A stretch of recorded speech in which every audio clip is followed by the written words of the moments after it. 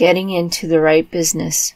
Success in any particular business depends for one thing upon your possessing in a well developed state the faculties required in that business.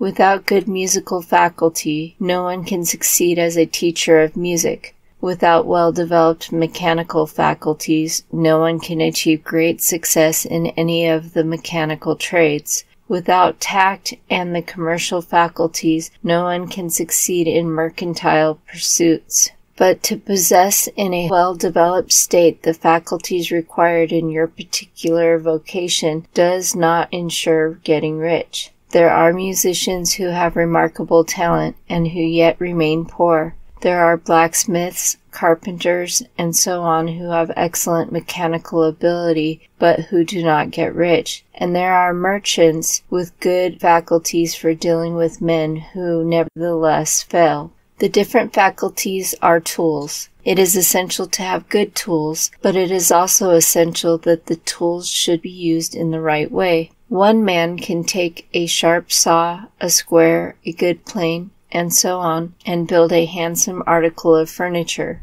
Another man can take the same tools and set to work to duplicate the article, but his production will be a botch. He does not know how to use good tools in a successful way. The various faculties of your mind are the tools with which you must do the work which is to make you rich. It will be easier for you to succeed if you get into business for which you are well equipped with mental tools. Generally speaking, you will do best in that business which will use your strongest faculties, the one for which you are naturally best fitted. But there are limitations to this statement also. No man should regard his vocation as being irrevocably fixed by the tendencies with which he was born. You can get rich in any business, for if you have not the right talent for it, you can develop that talent. It merely means that you will have to make your tools as you go along, instead of confining yourself to the use of those with which you were born. It will be easier for you to succeed in a vocation for which you already have the talents in a well developed state. But you can succeed in any vocation, for you can develop any rudimentary talent, and there is no talent of which you have not at least the rudiment.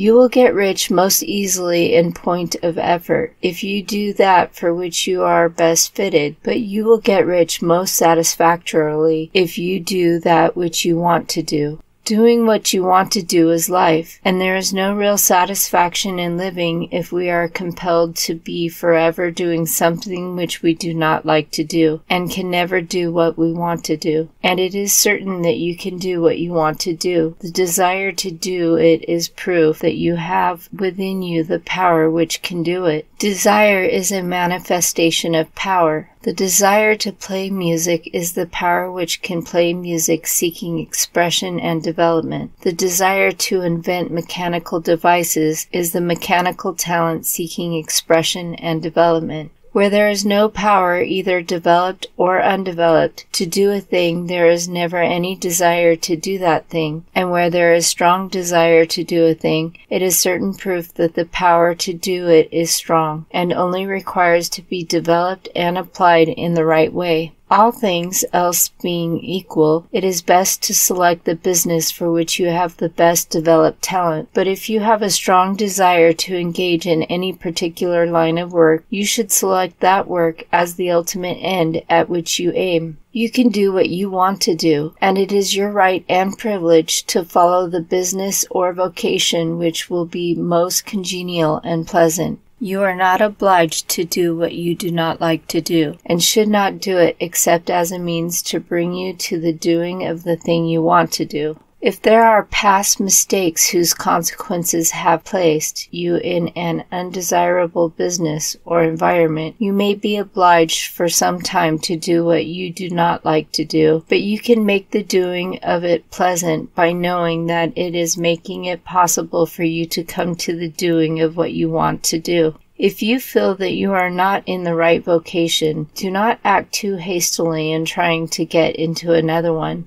The best way, generally, to change business or environment is by growth. Do not be afraid to make sudden and radical change if the opportunity is presented and you feel after careful consideration that it is the right opportunity, but never take sudden or radical action when you are in doubt as to the wisdom of doing so. There is never any hurry on the creative plane, and there is no lack of opportunity. When you get out of the competitive mind, you will understand that you never need to act hastily. No one else is going to beat you to the thing you want to do. There is enough for all. If one place is taken, another and a better one will be open for you a little farther on. There is plenty of time. When you are in doubt, wait, fall back on the contemplation of your vision, and increase your faith and purpose, and by all means, in time of doubt and indecision, cultivate gratitude. A day or two spent in contemplating the vision of what you want and in earnest thanksgiving that you are getting it will bring your mind into such a close relationship with the Supreme that you will make no mistake when you do act. There is a mind which knows all there is to know, and you can come into close unity with this mind by faith and the purpose to advance in life if you have deep gratitude. Mistakes come from acting hastily, or from acting in fear or doubt, or in forgetfulness of the right motive, which is more life to all and less to none.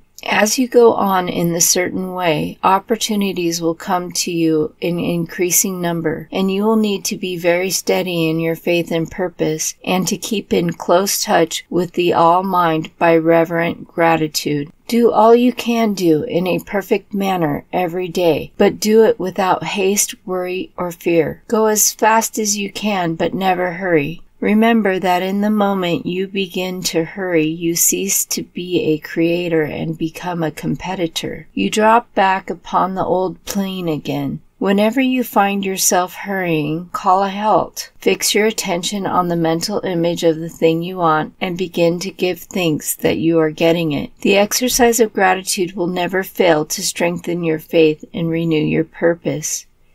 End of chapter 13.